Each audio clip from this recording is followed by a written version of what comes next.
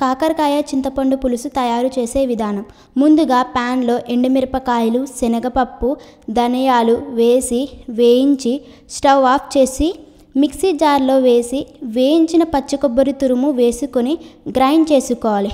ఇంకొక ప్యాన్ పెట్టి నూనె వేసుకొని కాకరకాయ ముక్కలు వేసి వేగిన తరువాత బౌల్లోకి తీసుకుని అదే నూనెలో ఆవాలు మినపప్పు తరిగిన ఉల్లిపాయ ముక్కలు ఉప్పు కరివేపాకు వేసి కలుపుకొని కొద్దిగా ఫ్రై అయ్యాక అల్లం వెల్లుల్లి ముద్ద పచ్చిమిర్చి వేసి వేయించి చింతపండు రసం నీళ్ళు పోసి కాకరకాయ ముక్కలు ఉప్పు వేసి కలిపి మూత పెట్టి ఉడికించుకోవాలి. గ్రేవీ చిక్కబడిన తరువాత స్టవ్ ఆఫ్ చేయాలి. అంతే. కాకరకాయ చింతపండు పులుసు రెడీ.